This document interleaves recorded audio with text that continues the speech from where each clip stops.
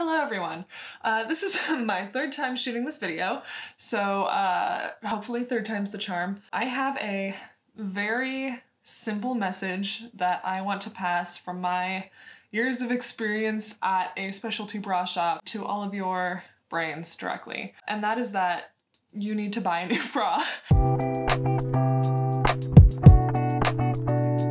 and this is a very simple concept uh, and yet one that no one wants to hear including me. And listen, I've held on to bras for way too long.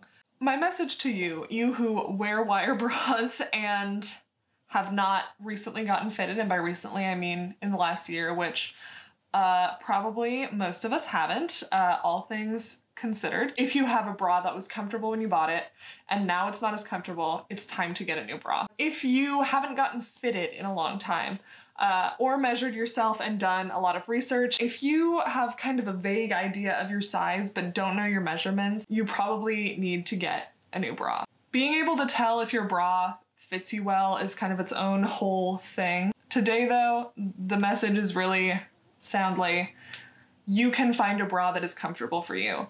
And if your bra is not comfortable, your bra, that bra is at fault, not bras in general. It's not just the way that things are. Fundamentally, it is obviously not fair that some people have to spend money on bras and some people don't.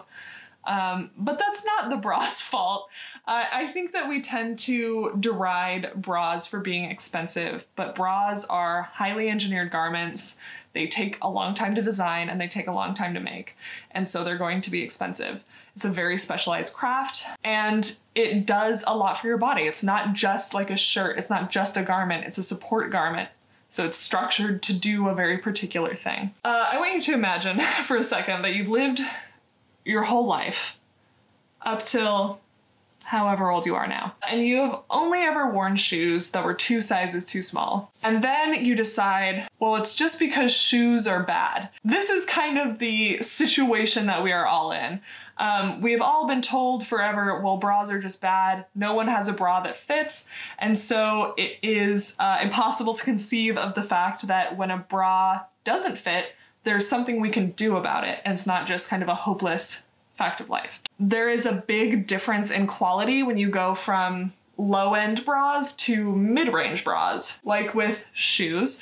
Uh, if you look at shoe prices for something like Dansko's, which are really good for you and really good for your posture and really help your back. And if you know people who are uh, waiters or waitresses or nurses or uh, any job where you're on your feet, really physically engaged all the time, uh, they probably have some dance Dansko's because they're really functional shoes. And that is kind of the difference between a really functional shoe versus if you imagine those um, those like plasticky flip-flops that were really common in the early 2000s or like the hard plastic gladiator sandals.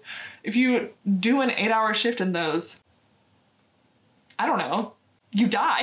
And bras are a similar way. So jumping from the really low end, you know, the 10 to $20 wire bras that you can get at Target or Walmart, those do very, very little. And if that's kind of the range that you're spending in and looking at, for most people, I would recommend that you instead look at sports bras or bralettes. If you really need the support, those bras probably aren't doing anything for you, and you probably do need to be looking at the more mid-range 40 to $70 bras. It is like a shocking price tag when you first encounter it. But thinking about if you take care of this bra, it's gonna last you and you're gonna wear it every couple days for a year.